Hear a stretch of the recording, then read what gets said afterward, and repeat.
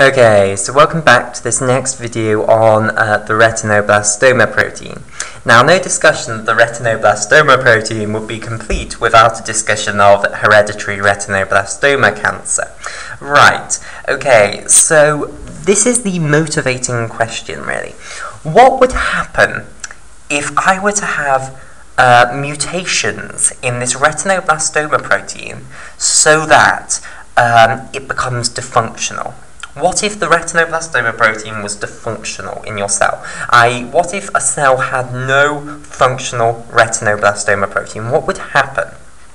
Well, the E2F-DP complex would now be free in the cytoplasm and it would be continuously going into the nucleus and binding to these E2F boxes and transcribing the, and causing the increase in transcription of the genes uh, which are responsible for the replication of the DNA.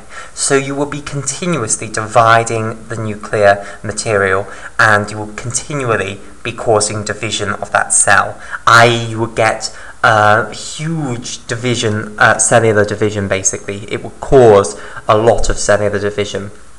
Uh, uncontrolled cell division, which is one of those main characteristics of cancer, or at least of the um, uh, cancer genesis um, pathway. Right, okay, so retinoblastoma protein is basically an example of what is known as a tumor suppressor gene, or, well, actually, it should be the gene that codes for retinoblastoma protein. So, RB is the protein, and the gene which codes for uh, retinoblastoma protein is the RB1 gene, basically. So, let's just discuss uh, the RB1 gene for a bit. So uh, the RB1 gene is a gene that is found on chromosome 13 and basically uh, you can uh, you have two chromosome 13s like so. So um, you have two of these RB1 genes. So here is one of your chromosome 13s maybe your paternal chromosome 13 and here is your maternal um, chromosome 13 and we are looking specifically at the RB1 genes uh, on this um, on this chromosome 13. So let's have let's demarcate those RB1 genes. So um, let's say this is the RB1 gene here. Okay, right. So you have two copies. The important thing to understand is that you have two copies of this RB1 gene. Right. And basically, this RB1 gene is what is known as a tumor suppressor gene. It's an example of a tumor suppressor gene. And basically, it's because this protein, the protein that's coded for by the RB1 gene, basically stops cell division. Its, its role is to stop cell division. It does not promote cell division, it stops cell division. And basically, Tumor suppressor genes are genes which you need a loss of function in in order to uh, lead to cancer, basically. Whereas contrast that to proto-oncogenes. Proto-oncogenes are genes in the genome which promote um, promotes cell division. So, for instance, cyclin D would be a proto-oncogene, and in order to get um, a mutation in cyclin D that's going to lead to um, cancer, then uh, you need a gain of function in cyclin D. If you, for instance, had a gene amplification of cyclin D, then you'd end up with far too much cyclin D being produced, and that would cause um, uh, it would cause um, excessive cellular division. So contrast, understand the difference between a tumor suppressor gene and a proto-oncogene. A proto-oncogene, you need a gain in the function of that uh, gene to get uh, oncogenesis. And tumor suppressor genes, you need a loss of function in them in order to get uh, oncogenesis or oncogenesis just means um, cancer genesis, really, carcinogenesis, the formation of cancer.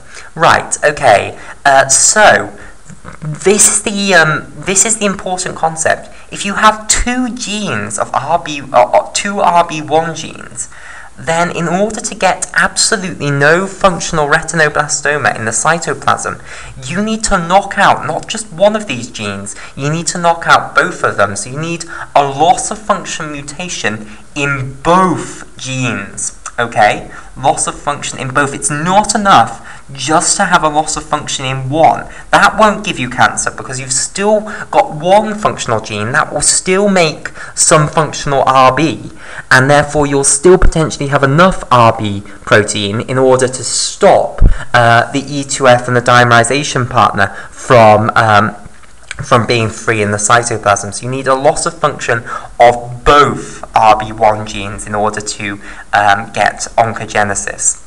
Right, so this concept that you need two mutations basically in separate chromosomes. They may be homologous chromosomes, but they are, you know, separate chromosomes. This is known as the Knudson two-hit hypothesis. Knudson two-hit hypothesis. That you need basically two hits, two mutations to occur in two separate genes on different chromosomes in order to actually get cancer. The Knudson two-hit hypothesis. Right, and now let's have a look at hereditary retinoblastoma. So what happens in hereditary retinoblastoma?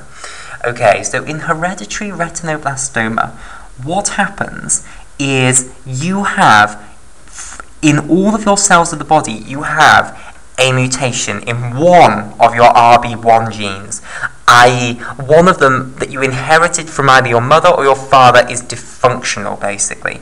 So this is hereditary retinoblastoma. Okay, so let me draw out the two genes again, and I'll show one of them being dysfunctional and one of them is still functional. Uh, if both of them were dysfunctional in all of your cells, then you would never have survived. You wouldn't. You wouldn't. You'd have. You'd have died in embryogenesis. Um, uh, so it would. The, the embryo wouldn't have survived. Um, but if you have only a loss of function in one of them from the germline, then um, the and the other one is still functional, then you can survive and you can be born. Right, so hereditary retinoblastoma, what happens is that one of the genes on one of your homologous chromosomes for retinoblastoma protein is dysfunctional. So let's say it's this one here. So this one has some mutation in it that means that it does not code, it does not make uh, a functional retinoblastoma protein. Okay, so potentially the whole gene could have been deleted, or it could have some mutation that means that the protein is made, but it doesn't actually work. It doesn't bind to the E2F DP complex, uh, or something along those lines. You've got a loss of function mutation, or an LOF mutation in uh, one of your genes for the re retinoblastoma protein. And then, let's say this is your other gene for the retinoblastoma protein, and it's perfectly functional. So here is your other gene. So this gene is perfectly functional. It's working well. So in all the cells of your body, you have one RB gene that is not working and one that is working. Now, basically, in order to get um, a problem, you see, you're at a huge disadvantage because a normal person with two healthy RB1 genes would have to have a cell that gets a mutation in one of their chromosome 13s in one of their RB1 genes and they, that same cell has to get another mutation in this other RB1 gene. That is extremely unlikely to happen.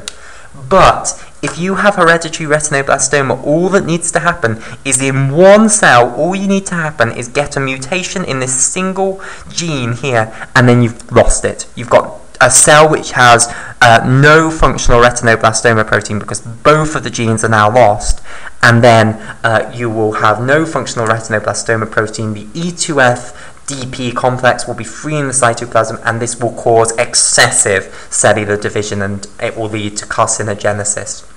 Okay, now basically um, people who are born with this hereditary mutation, they unfortunately they don't live very long generally. Uh, they get what is known as the first place this ha generally happens is in uh, the eye basically. So what happens is in the eye cells called retinoblasts um, get this um, second mutation uh, in their second RB1 gene, basically. And when that happens, they have no functional uh, RB left protein left in the cytoplasm, and that leads to excessive cell division, and basically it leads to what's known as a retinoblastoma, a tumour forming on the retina, basically, a retinoblastoma. So I hope you understand what's happening in these people. They are getting, they have one mutation in this uh, in one of their RB1 genes from birth. So the Knudson two hit hypothesis doesn't apply to them. They only need one hit. They don't need two hits. They need one hit in this tumor suppressor gene in order to get cancer. Okay, and basically the first place that happens is in the retinoblasts of the retina. Uh, this other gene gets mutated uh, in just one of those cells in the retina, and that cell can then divide excessively and lead to uh, carcinogenesis, and that form of cancer is known as a retinoblastoma. Now, um, retinoblastoma is uncommon in people who do not have um, two, um, sorry, they do not have one of these um, mutations in the retinoblastoma 1 gene from birth. Um, but it's not unheard of, and it can happen.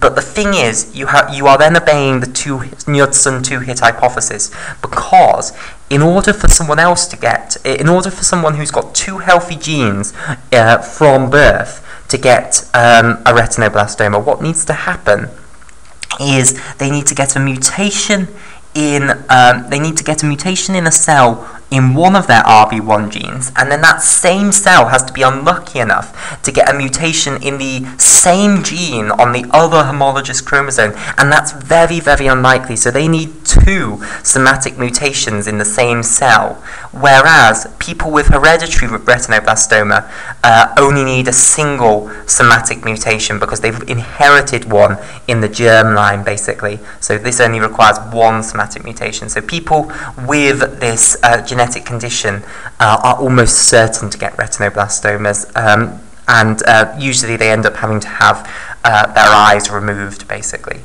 Okay, um, so it's a horrible, horrible form of cancer.